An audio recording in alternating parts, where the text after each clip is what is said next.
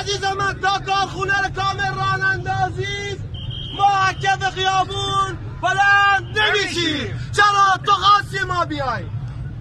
مونیم تا شرکتمون را بندازیم. من تشکر قدردانی می‌کنم مردمی که ما را حمایت کردن این مدت. صدای حق ما را شنیدن و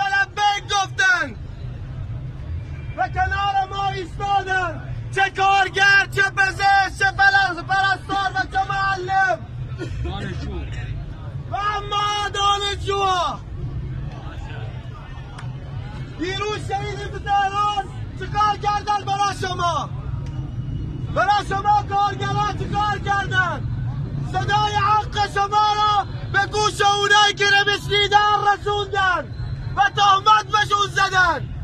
آیا کسی که بر حق منافقه آیا کسی که حق راست رو می‌زنه دسته قائمه من با توم تو که حسین می‌کنی؟